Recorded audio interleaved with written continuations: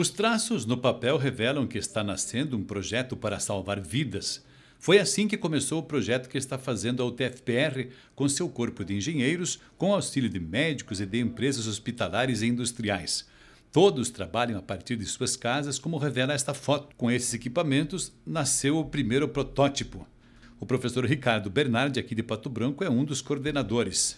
Quando começou a pandemia, a gente percebeu que a universidade deveria fazer alguma coisa a respeito. E aí Sim. nós percebemos que existiam algumas é, iniciativas de ventiladores pulmonares sendo feitas. Uhum. É, a primeira ideia era a gente fazer um grupo aqui em Pato Branco e fazer um, mas é, depois a gente descobriu que tinham outros UTFPRs, né, outros campos fazendo já. Uhum. No caso do Curitiba, gente, daí nós, nós preferimos fazer uma união ao invés de segregar.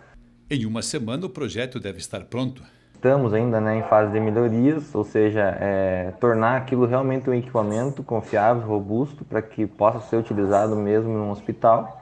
Né?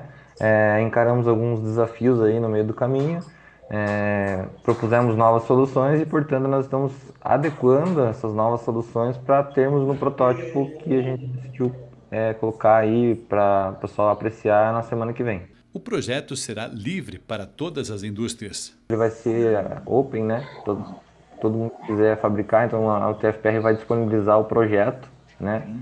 Lista de materiais, é, manual para montagem, então todas as empresas que quiserem fabricar vão poder fabricar. Uma indústria de Curitiba que está no projeto será responsável para aprovar o projeto na Anvisa, deve estar no mercado em junho ou julho. A nossa ideia é fazer um equipamento que seja viável de ser fabricado, né, acima de tudo, com peças que nós temos hoje no Brasil, porque em virtude da pandemia ser mundial, países poderosos como Estados Unidos, China e tudo mais, eles estão né, segurando tudo que equipamento eletrônico relacionado a ventilador pulmonar. Então você não consegue comprar nada. Para o professor, encontrar soluções para problemas reais está entre os papéis da universidade. Tem a parte de pesquisa, ensino, né, extensão, é o tripé da universidade, pelo menos da UTFPR, acho que de todas as universidades do Brasil.